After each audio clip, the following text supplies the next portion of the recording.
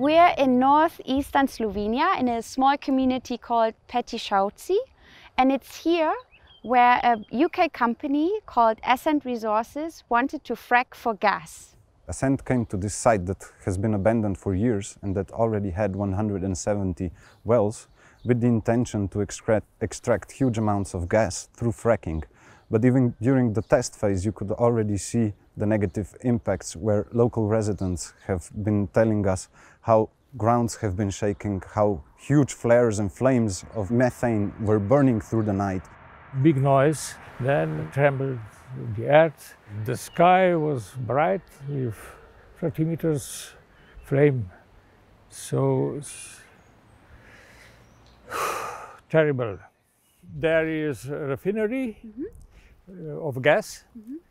And here is my home. This is your home? De there, uh, you, you can see, but this is my home. What are you worried about? We are worried about water because uh, so many dangerous substances.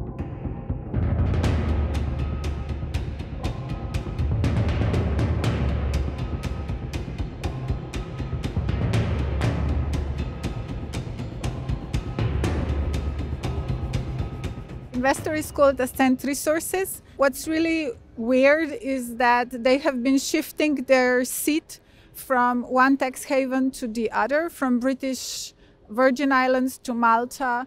Uh, now they're operating from London, and they also claim they have invested 50 millions into the research of the project. However, it's not clear where the money came from and for what exactly it was spent. They have also been trying really hard to frame this as this is not fracking. Nothing really bad is going into the land. And they uh, didn't include the people. You uh, see that somebody lied to you. We are not lambs, sheep. We are people.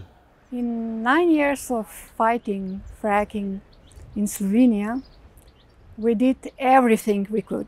First, we organized a big roundtable to get the media and Slovenian people know what the fracking is all about. And then we made a protest in the local community. In this way, with all this effort of many, many people, we were able to stop them three times.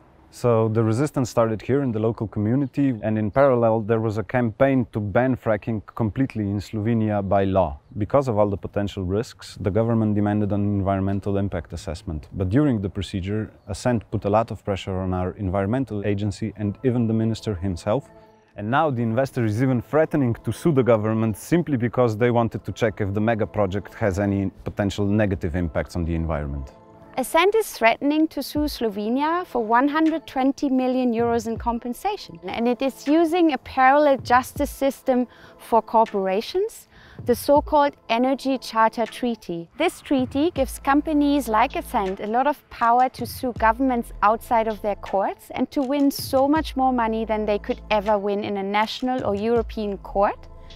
So Slovenia is actually at high risk of losing a lot of taxpayer money for wanting to protect the environment from the damaging effects of fracking. I think the last act of Ascent somehow shows also the global situation of shady investments, uh, trying to create their own environment, their own legal system to still and continuously get rich from the public money. I have a message to the Slovenian government, ban fracking, and I have a message to all governments. Learn from our experience and leave the Energy Charter Treaty now, because the ECT allows the fossil fuel industry to destroy our planet.